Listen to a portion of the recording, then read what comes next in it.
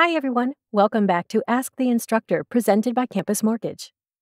Today's question is What is mortgage insurance? Great question. As a mortgage service operations manager, here are my thoughts. Mortgage insurance protects the mortgage lender against loss in the event of default by the borrower. If the borrower makes a down payment of less than 20% at closing, the lender will generally require mortgage insurance. It's important to note that this is different from hazard or homeowner's insurance, which covers damage to the property. This concludes our one minute video. As always, don't forget to download our course catalog at campusmortgage.org.